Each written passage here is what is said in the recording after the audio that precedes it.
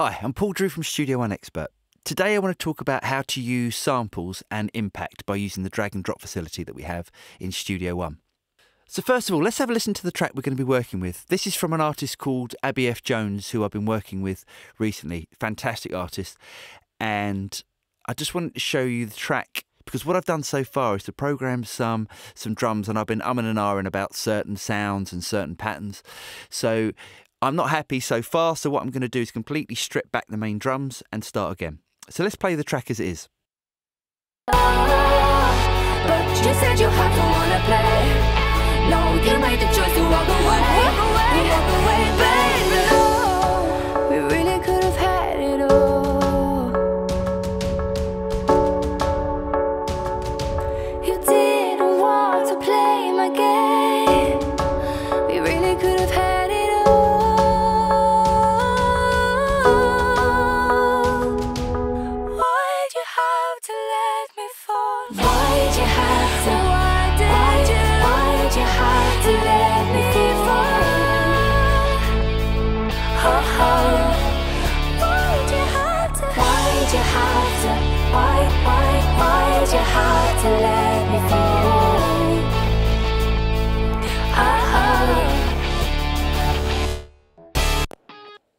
Okay, so you get the idea.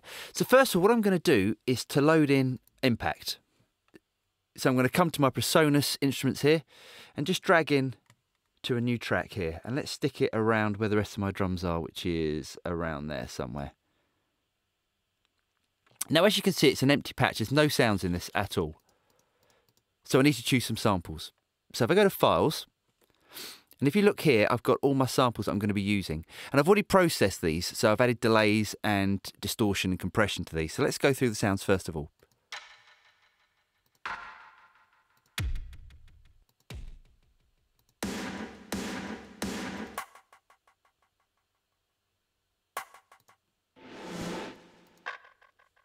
So normally what I like to do is to have my kicks around my C and C sharp area of my keyboard.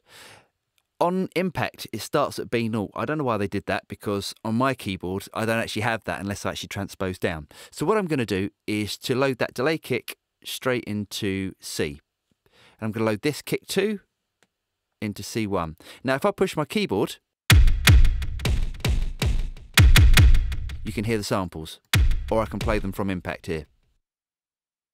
I'm going to put my snares on D, and I've got a rim here as well that I'm going to put on D sharp.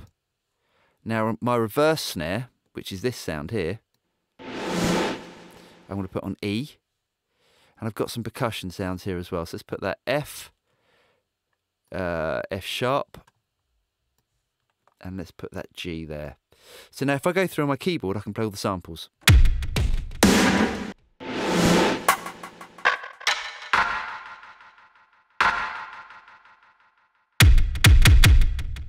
So what I need to do now is to program a part. Why'd you have to let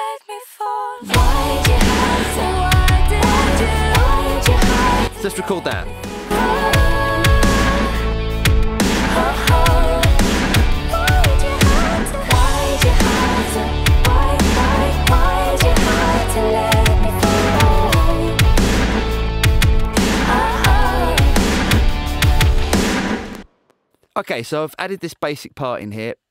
Some of the timing was a bit off, so I can quantize that later. So let me program the whole the whole song, and then I'll come back to you in a minute.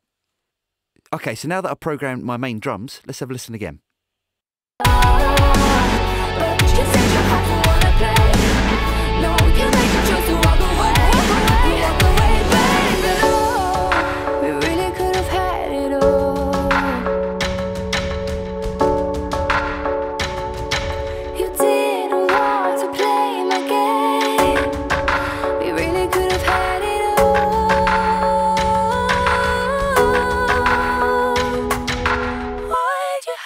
To let me fall?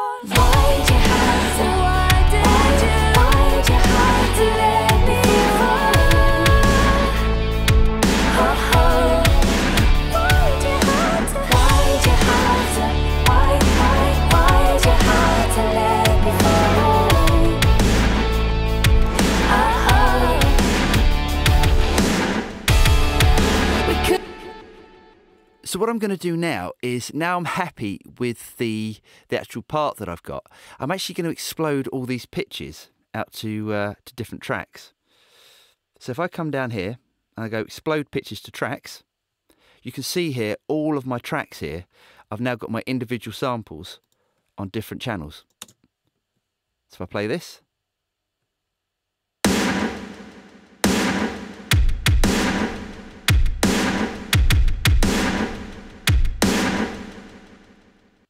So I could, if I wanted to, I could just use Impact and then send loads of different outputs to my mixer and mix from there. But what I like to do, I like to work in audio because I can then manipulate the audio as well. So what I'm going to do now is to bounce down all those tracks to audio. So if I highlight all my tracks and right click and push transform to audio track. And as this is going to take some time, I'll come back after all that's been transformed. Okay, so now you can see that all of these instrument files have now been transformed to audio. So let's have another listen.